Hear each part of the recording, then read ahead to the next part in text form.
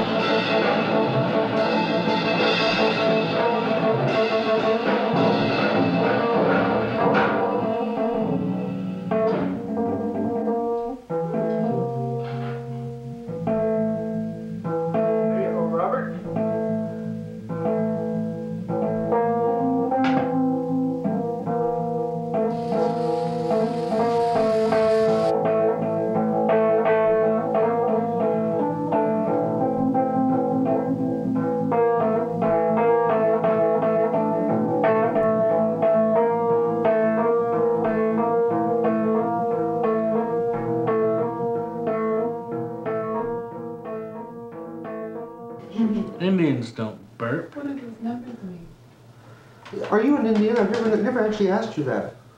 I'm here. It's a, it's a rumor. you Yeah, are an everybody Indian. has rumor. Yeah, Are you part Indian? yeah. What kind? The most part, the best part. Best part. What kind of Indian? What tribe? Mohawk. Right. How much? I'm one of the rare Mohawk Indians that are, is uh, Afraid afraid of of heights.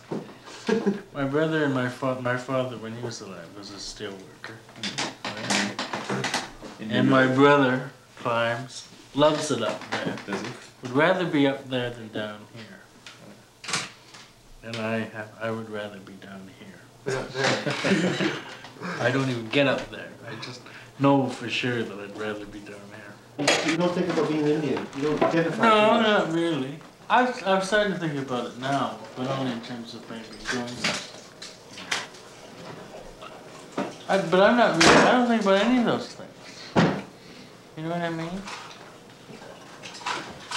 Not just that. What else? So, Beyond immediate family, you're very close to. Your... Yeah, very close to my immediate family. And I'm not sick.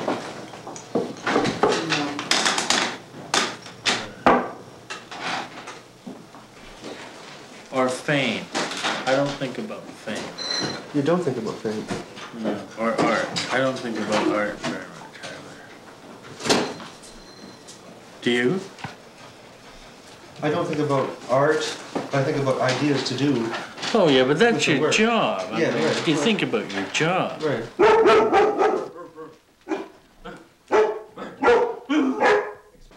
Mad dog frosting at the mouth.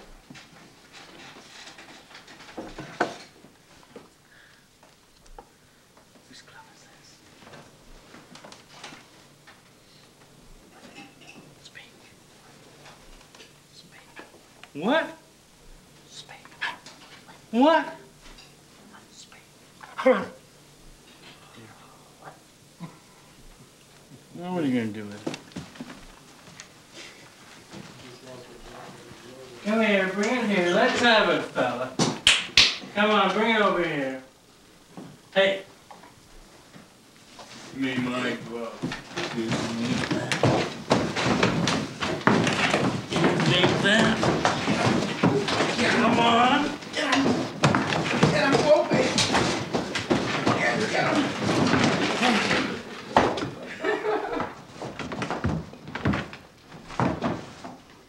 I, I believe in the possibility to, really know. I think that you can know. I think that it's it's possible for a human being to capital K know.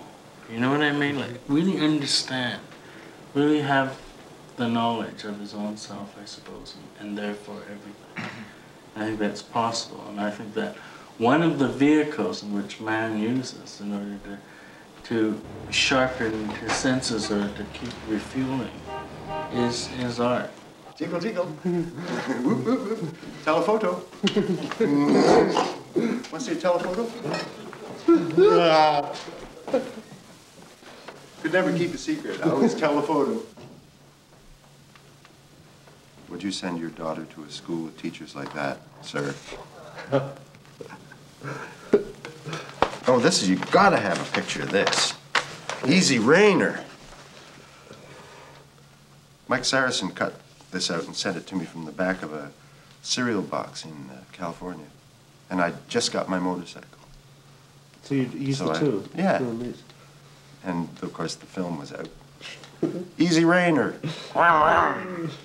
In his uh, newfound Eastern humility, call, he describes himself as all, all these things are true, of course. There's no exaggeration here. Naturalist, photographer, addict, father, alcoholic, passionist, percussionist, author, poet and laureate, artist, hedonist, filmist, lover, entomologist, humorist, painter, musician, viper, husband, blackguard, man, boy, colorist, gourmet, dancer, product of a broken home, sympathist, philosopher, musicologist, discographer, composer, cowboy, anecdotalist, philanthropist, beggar, fisherman, hunter, motorcyclist, brother, uncle, sculptor, sailor, lover, and liar. I will slap this hand and the cigarette will take eight turns and land in my mouth.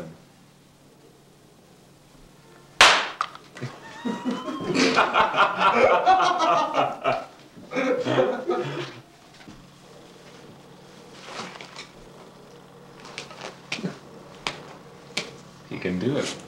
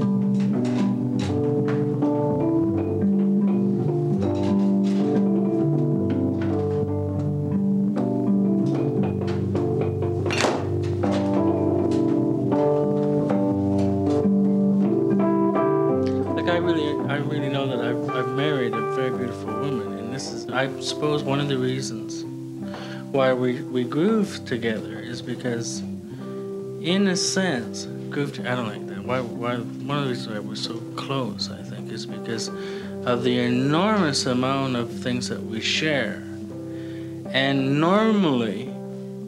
Normally, an artist, being a very selfish, creative person, eventually has to block out his his woman or his or, or- from a great enormous part of, his of his life simply because he has to go into the studio. And even though physically i do that i'm in there re-caressing and re-loving and redrawing and re-dealing and re-understanding. Marlene. She's also the most intelligent girl that i know. On, on any level i haven't met anybody who is uh, who has got things together. I know people who've read more books, but not a hell of a lot more. And I certainly haven't met anybody who's more sensitive. And I haven't seen any woman that has more class. So, well, you know, what else is there?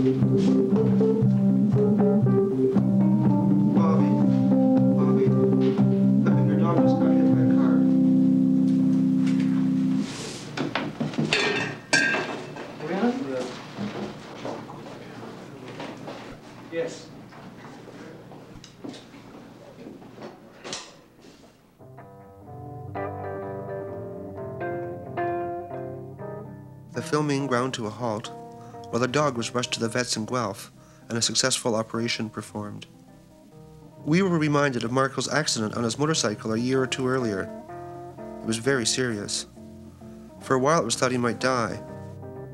And when he began to recover, it was rumored that only his carefully cultivated beer belly kept his liver from being punctured when the bike fell on top of him. When he got out of the hospital several months later, he moved to the farm.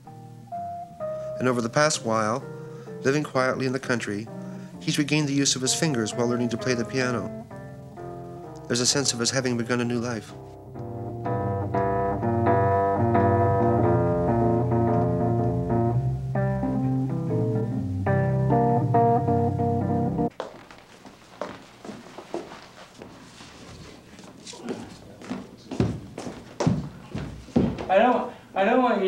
In different kind of speed, so it looks like uh, Keystone Cops. You know that stuff? Change the camera. New York directors do that. When they make NET films on all those guys.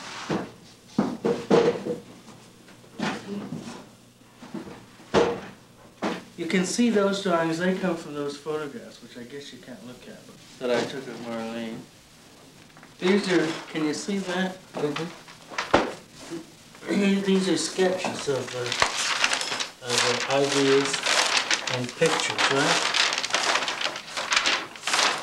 Which got the whole series. And these sketches come pretty well directly from those, from those photographs. Okay, so here's this.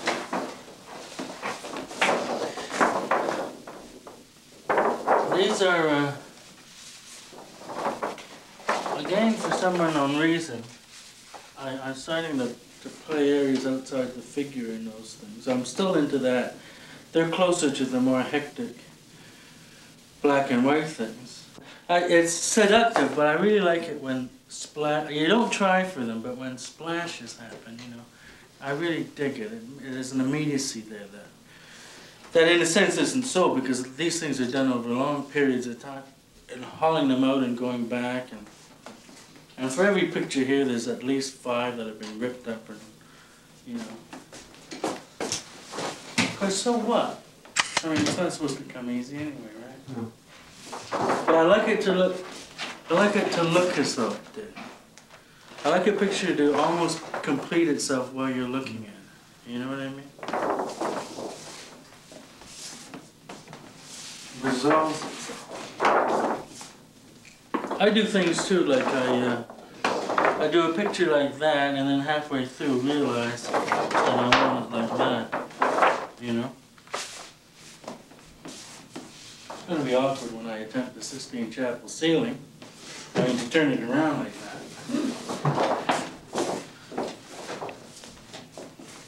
I like this one the best in a sense because I like the bulk of the body.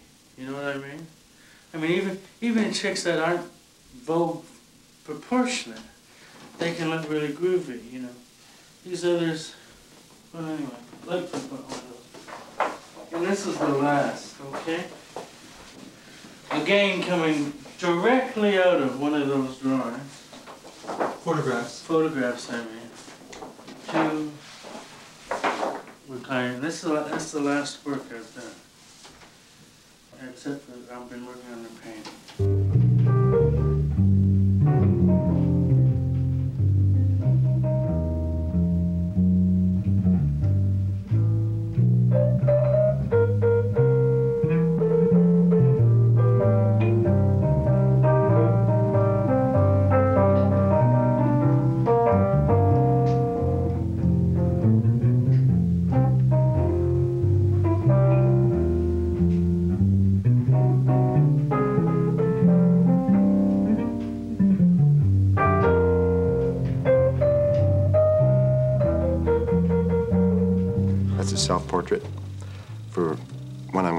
Movie star in a cowboy movie, In a western. in a western, yes.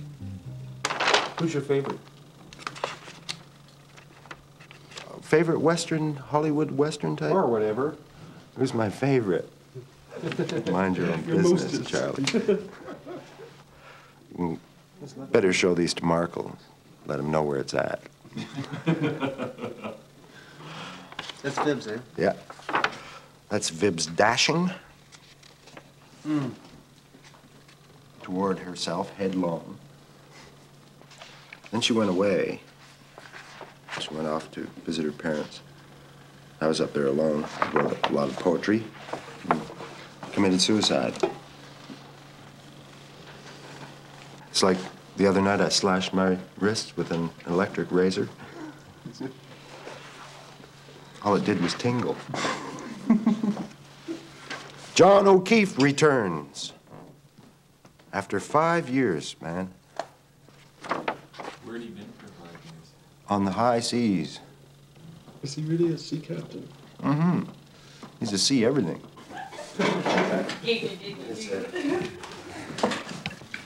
Oh, bananas flambe. That's the second thing I thought. You find a very, very hot, red hot wood stove, first of all. Um, put a frying pan on it with a, banana in it, preferably peeled.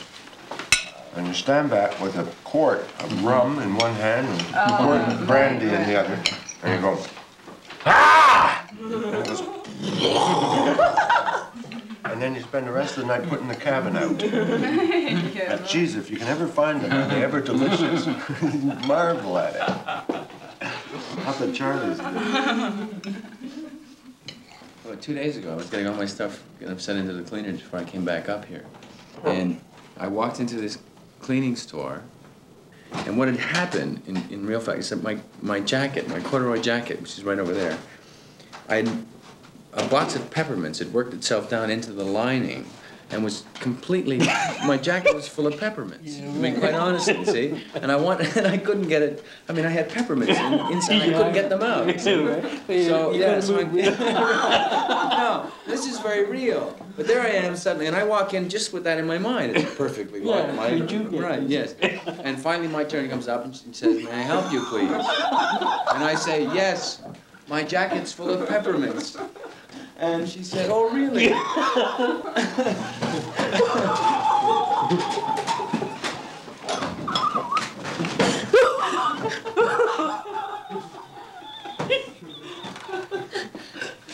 Those are torches, and there was a girl in a big gown in front of me. My aim wasn't too good, and I stuck the torch right on her dress. the dress went on fire, and as they're all singing, I'm going. it was, it was an enormous hole.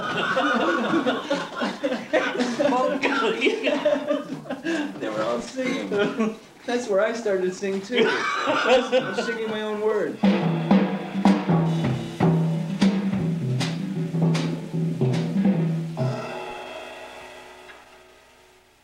This was conceived this way, but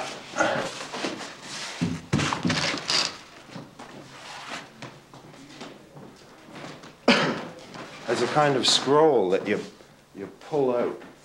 I had a man come by here who owned a used car lot, who went to school with Av Isaacs. He said, now, you see, the place over in my Chesterfield is pretty much that shape, except you got to. Now, if you'd only done it this way. So I looked at it that way, and I thought maybe it was the end of the thinnest roll of the most colorful toilet paper that ever was painted. And I looked at it that way a long time. And then I suddenly realized that what it was was a painting that was falling and unrolling by its own nature. So it went that way. Frames within frames. A lot of, uh, a lot of my paintings, in fact, most of them, I've got two kinds. Kinds that are done in the city and completely imaginative, and in that sense, abstract. Misused word, but true. And the others are from nature. They're the Charlie's paintings, and I continue to do them. This is a Charlie's painting. This is naturalistic to me. It's the rapids. It's the foreground, the rapids. It's a river. And there's a, you know, there's a goddamn fully intended foreground in the classical sense of painting. There's the water, the middle ground, and there's the background, and there's deep space. Terribly out of fashion, you know. But it's a landscape painting, huh? Sure is real. That's about all I have to say about that painting. This is also that same kind of thing. It's landscape painting in a way. It's really taken from a screen door, sitting inside of a cabin, and you look out and you see that. It's naturalistic painting. But they're only the sources, you know. They're, they're like flashbacks. You realize that, I realize that, in a sense, after they're done. What really, really matters is that they are paintings more than anything else. It's not what they remind me or you of, or it's their paintings. They're paintings. If you watch Star Trek too much, you start doing paintings like this.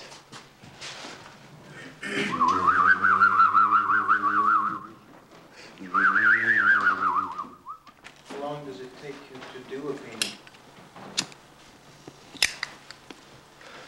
35 and a half years. Uh, that's nice.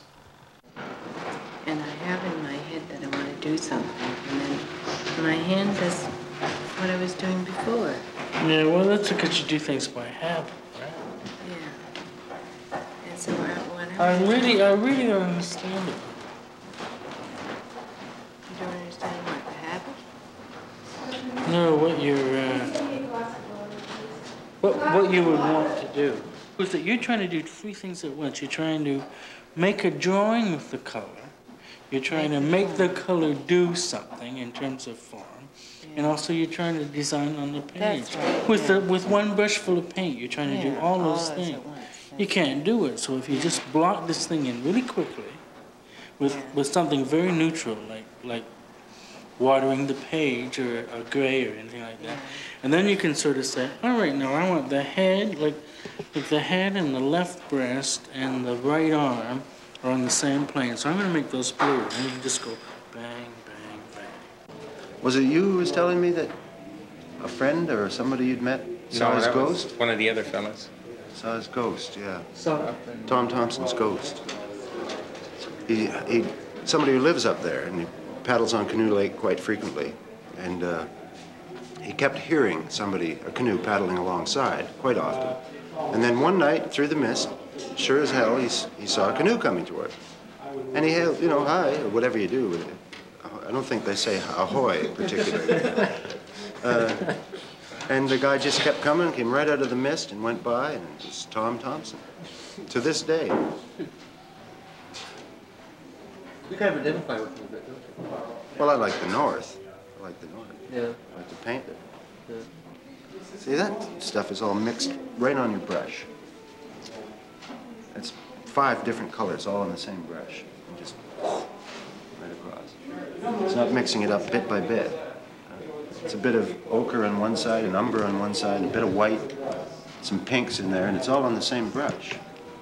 And then you get all these very fine gradations all the way through in the brush marks. De Kooning does that too. Okay. de Kooning, when he was starting off on his, I always go back to de Kooning, but he was starting off on his figure series after being a super duper action painter. And he said, well, I said, I'm going to paint the figure. And he says, I decided to make it flesh color because why not? I mean, everybody thinks it's far out to make a, a figure these days blue or green or orange. But I think it's further out to paint it flesh color. So I'm going to paint it flesh color. And then he said, and he also said, and I stuck it right in the middle of the canvas because I really couldn't see any sense in putting it off to one side or the other. you know. Now that's, don't, I think that's really sound. I think that's beautiful thought. Yes, the city certainly is an evil place. Thank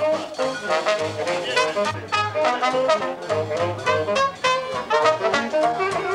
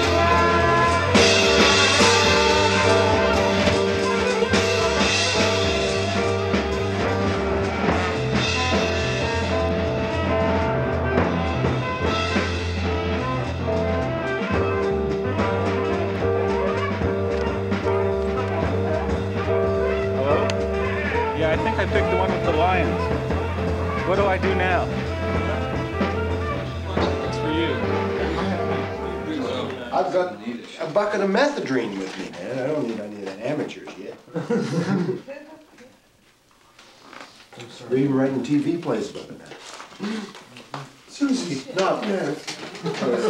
Listen, pal, I just finished making a movie about it. Is that what you're referring to? Yeah, all right. Are you getting a chance to go You back and shoot TV? more? Yeah, two weeks. They wouldn't even give him any fucking free samples for the movie. You mean you weren't doing it right? No, they wouldn't let me. Oh, if you Did insist. you work on that, is uh, that that speed film? Yeah, What's it like? Quick. no comment. It's very fast moving. I don't know, I haven't seen it yet. How did you feel when you were acting? Did you feel like it was? Oh, you made me cough and shit. Well, I thought it was pretty good. Pretty much like what we did in two weeks. That's right, that's I researched my material. I understand you asked Gordon Rayner for a little advice. Easy. Sound on and all that. Yeah, right. It's not against the law. This is gonna be the drinking this, smoking this, snorting this, farting this movie you've ever heard, seen or otherwise envisioned. Hey, you guys, come and eat, eh? Come and eat, eh? I really pissed off. They'll do it when they want to. Come on, they'll do it. Oh, no, they're trying to say. They're trying to be You're being a prick. You're the director, you're eating. Come and eat. If they're doing what they want, then you should be doing. Come on, Come on, Mo, let's tell some French He's Canadian the. joke. There's one captain that won't go down with the ship, believe me. Once this film springs a leak, and there are many, he'll be the first guy to run out. Hey, put the camera down. Go ahead. Cut. Easy does oh, it. Oh, hey, what are you doing? Take two. Take two. Take two. We're still rolling. Keep it rolling. We want a Anytime, close Mr. set, please. Quiet and set.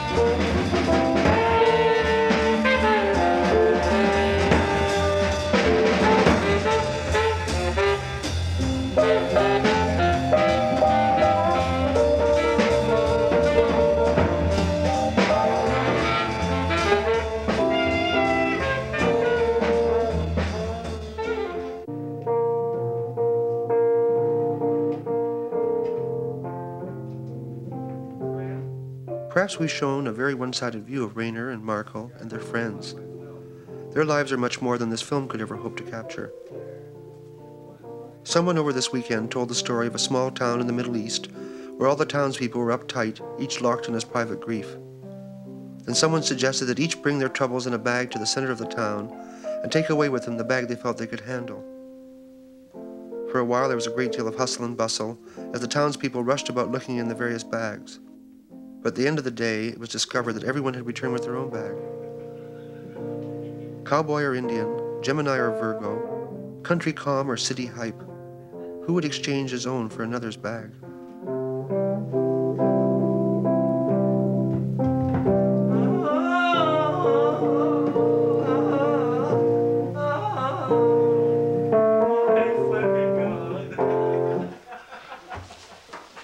Grant's been up all night and he's done his drawings. You want to show them to us, Grant? No, did they shoot drawings here? There's one drawing there. that I did. This one.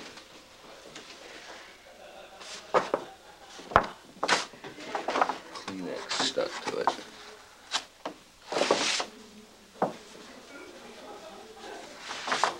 You'll notice how I simplified the whole thing.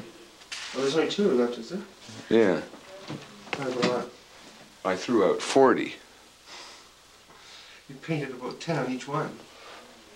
Yeah, well, you kept coming down and saying paint some more on them, Bob. Hard. Dirt.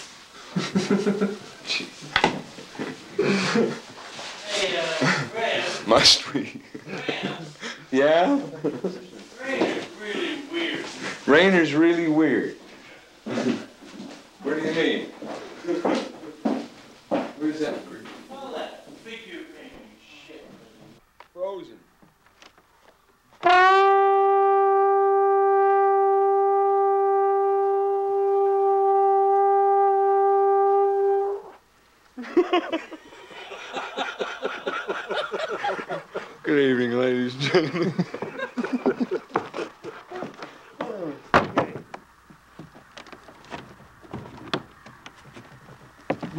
My apertures have to adjust.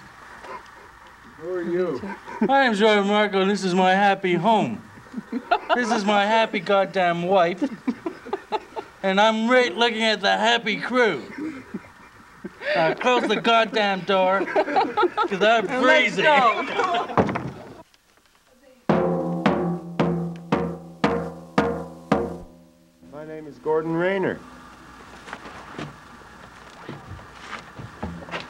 My name is Vibeke. Nodrog Renyar. Robert Barbard Marva Cobble. Gager Dagan Regenegger. All of yours have been stuffed of another shuffle novel. Father Barbard. Fega Kegging Fegelms Stegar Feging. Fegum Right. Hagungager. My name's Harold Town, and I really am gonna try better and harder from now on. I think you should. he pushed me!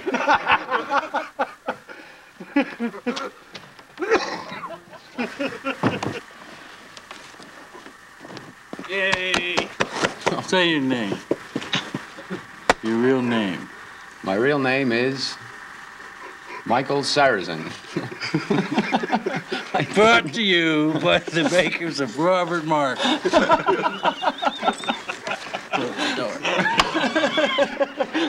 Close the door. What is this, laughing?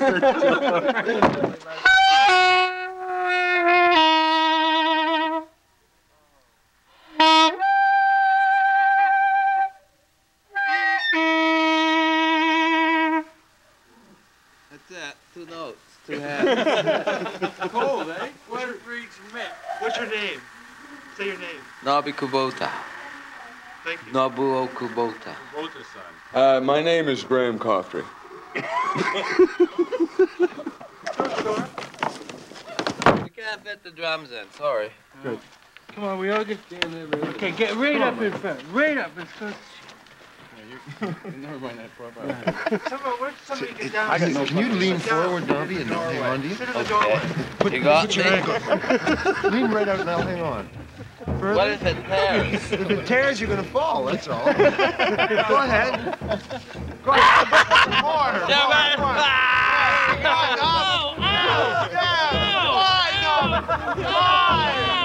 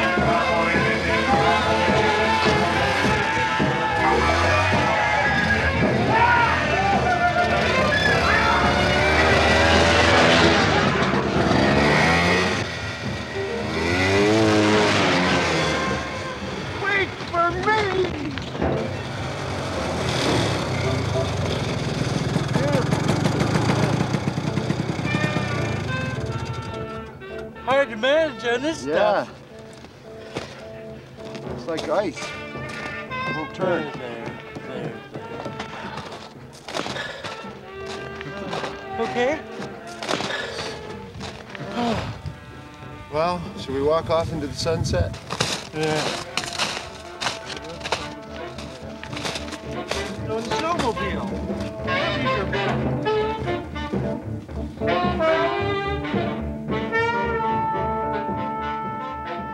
I'm Don Owen, and I directed and edited this film. Doug Kiefer photographed it, and Jim Jones did the location sound. The assistant director was Paul Saltzman, Sandy Altwerger, the assistant editor. The soundtracks were edited by Bill Graziadei and re recorded by Roger Lamoureux.